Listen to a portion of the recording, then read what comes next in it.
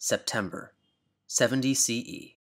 Josephus wanders through the charred ruins of Jerusalem, Titus following close behind. In the upper city, the battle is still raging. The temple will not be rebuilt.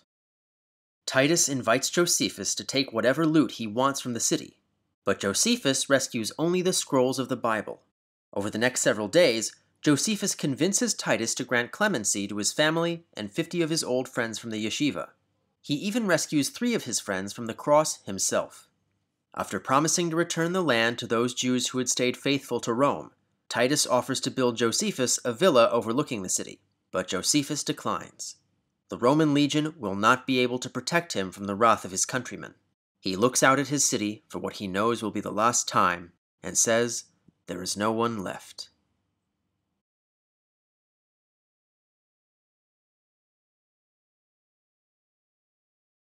At the end of the battle, all of Jerusalem was demolished, except for the Praetorium and adjoining city wall on Mount Zion. This was to serve as the new permanent home of the 10th Fretensis. The 12th Fulminata was reassigned to the Caucasus as punishment for its defeat in the Battle of Beit Horon. Though, as you may recall, the 12th Fulminata was completely wiped out at Beit Horon, and the new 12th Fulminata comprised an entirely different set of soldiers. The local forces and foreign volunteers brought to assist in the siege returned to their homes. This left the 5th Macedonica and 15th Apollinaris to accompany Titus back to Rome. Over four years of war, the Romans had amassed 97,000 Jewish POWs, who now became slaves. Of these, almost all men over the age of 17 were shipped off to the provinces, mostly consigned to hard labor in Egypt or forced to fight to the death as gladiators or be ripped apart by wild beasts as entertainment for the provincial cities. Only 700 teenage boys judged to be the most handsome were brought back to Italy, where the Roman Senate granted both Titus and now Emperor Vespasian a triumph. A triumph was not just a celebratory parade. It was an intricate, heavily structured event that combined political propaganda with religious ritual. The triumph had once been a pretty common event in Rome, but over time it had decreased in both frequency and legitimacy. The previous triumph had taken place in 66, when Nero had falsely taken credit for the work of his generals in a war over Armenia that Rome didn't actually win. That triumph had been voided when Nero was deposed, making the Flavian triumph the first legitimate triumph that most Romans could remember. It was a rager. First, a succession of wagons carried massive billboard-sized paintings depicting the various battles of the war.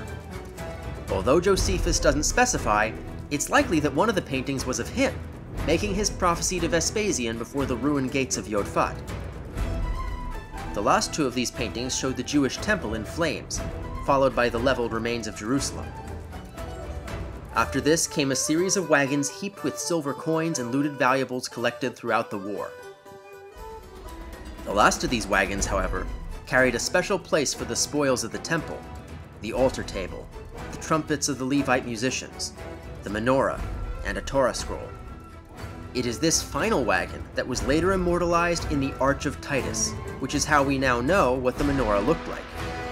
Jewish law forbade walking under this arch until 1948. After this came the 700 POWs selected by Titus, led by a shackled Simon Bar Giora. Upon the triumph's conclusion at the temple of Jupiter Optimus Maximus, Bar Giora and the 700 boys were ritually executed. For reasons lost to history, John of Giscala was exempted from this fate, and instead spent the rest of his life in the Mamertine prison. Then came the imperial family. In effect, this was not just a triumph, but the coronation of an entirely new dynasty of emperors. As a result, an additional third chariot was added for Vespasian's younger son Domitian, who had spent the entire war back in Rome. As night fell, everyone returned to their homes for feasts and drunken revelry. Said Josephus of the festivities, All day long, the city of Rome celebrated the triumphant issue of the campaign against her enemies, the end of civil strife, and the beginning of hope for a joyful future. But this was a lie. Although the triumph had taken place a year after the fall of Jerusalem, the Jewish war was still ongoing and would continue for over a year.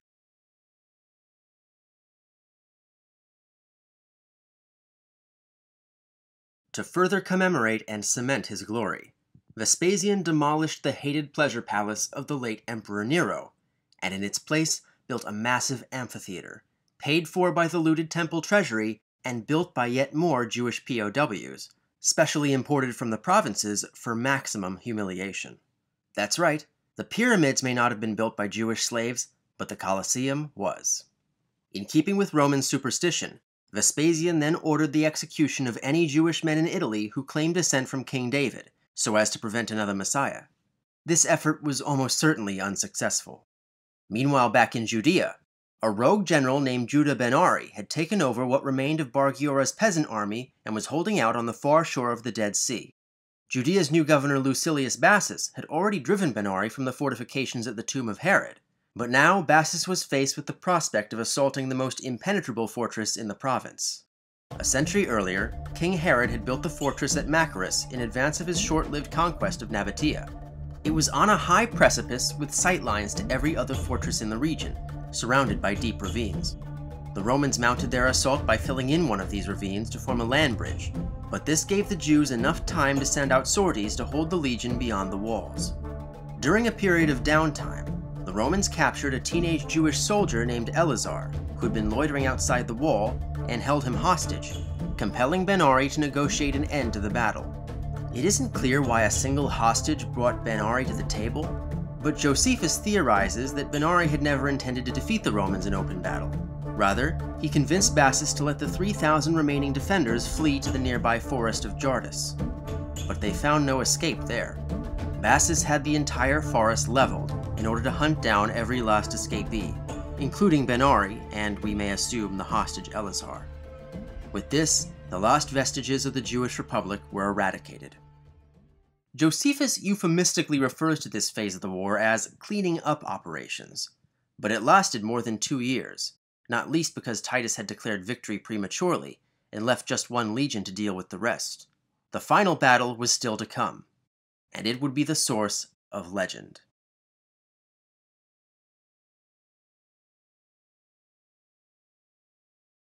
While Judah ben Ari's forces were the last of the Jewish army, they were not the last of the rebellion. At the very beginning of the war, the fortress of Masada had been occupied by a shadowy and murderous faction, known by the name of the daggers they carried, the Sicarii. If you've heard that name, it's probably in reference to drug cartels or Jewish supremacists, and that's not a coincidence. We don't have any surviving attestations of their governing philosophy, only Josephus's second-hand reports, and even he never explicitly calls them out as one of Judea's political factions. Reading between the lines, the Sicarii most likely began as one of the many gangs of bandits that preyed on the caravans coming up from Arabia before the war. They got their name from the Sica, a type of medium-length dagger which they used to murder their mostly Jewish victims, and had a reputation for indiscriminate bloodlust. Their apparent founder, Menachem ben Judah, had been the last surviving son of the zealot founder Judas of Gamala, and they seemed to identify politically with the Zealots whenever it was convenient to deflect responsibility for their actions. Most of this is speculative, but it would go a long way toward explaining certain events in the war, such as Menachem being denounced and executed by his fellow Zealots during the Royalist temple siege, or Simon Bar Giorah being allowed to take refuge from the Zealots at Masada. With Menachem dead, a new leader, Eliezer ben Yair, had transformed the Sicarii into basically a death cult. During the fall of Jerusalem, Eliezer led raids on nearby villages to take food and kidnap women and children into slavery. And on one occasion, he led the massacre of 700 fellow Jews at neighboring En Gedi. The Sicarii themselves probably never numbered more than a few dozen men.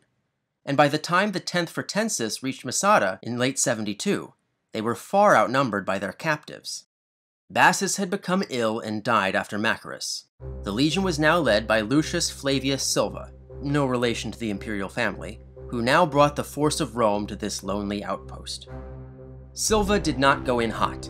Masada was fully provisioned and impossible to assault from below.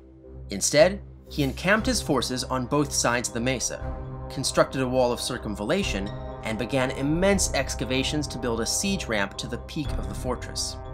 For months, the Sicarii unleashed their arrows against the siege works, but they were too few in number to go out and meet the Romans.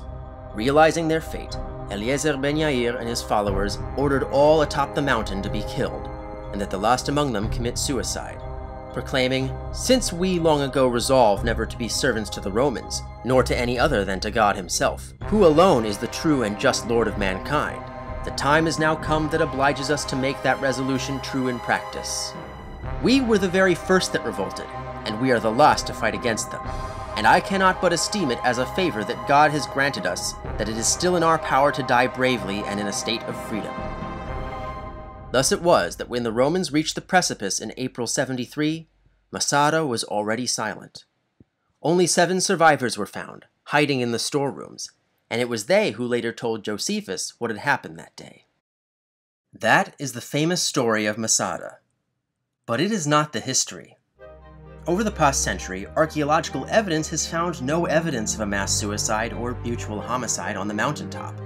A handful of bodies have been found, but they've since been identified as Roman soldiers, meaning there actually was some fighting on the mountain.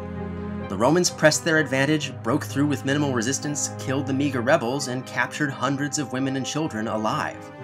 So, why is that the story? And to answer this question, we have to go back to Josephus. To many Jews at the time, Josephus was a traitor, a man who, when charged with leading the fight against the Jews' greatest enemy since Babylon, not only surrendered, but ingratiated himself to the imperial court. But here's the thing. Thanks to those archaeological studies, we now know that Josephus's account of the war is not only inaccurate, but inaccurate in a consistent and seemingly deliberate way. The story of Masada perhaps gives the biggest insight into Josephus's mind. Generally speaking, Judaism doesn't do martyrdom. The afterlife, if it exists at all, is unknown, and our foremost concern is the consequences of our actions in this world, both for ourselves and for the next generation. Jews do not envy the dead, we mourn them. This emphasis on self-preservation is still somewhat out of step with modern Western tradition, but it was wildly at odds with Roman society, in which even the act of suicide itself was venerated.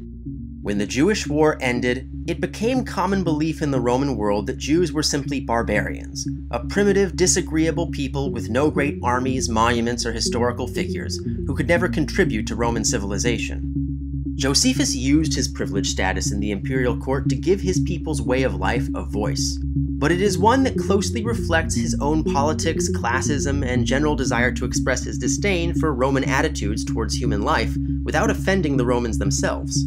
One of the biggest challenges of historiography is that the most essential stories in a historical culture are often lost with time, because those cultures never needed to write them down. Most of what Josephus wrote in the Antiquities was already common knowledge to all educated Jews. The first 11 volumes are essentially a summary of the Bible. But because Josephus was writing for an entirely new audience, he left no stone unturned. Almost everything that I've covered in this series since the Maccabean Revolt has survived only because Josephus lived to write it down. The Roman Empire was an assimilatory power. Those who came under its control were expected to abandon their pre-existing cultures and become Roman in all areas of life. The Jewish people had lost their kingdom, their temple, their capital, and hundreds of thousands of lives. But thanks to Josephus's histories, they would live to fight another day. The Jewish War was over. The Jewish Wars had just begun. Special thanks to my patrons, including Gaonim level patrons Lev Cham and Vicky Nelson. If you like this and want to support the channel, you too can become a patron on Patreon, linked in the description below. You can also find links to my sources for this video in the description, as well as a link to my book, An Armada of Cats Travels in Israel. Otherwise, you can always like, share, and subscribe. I will see you next time.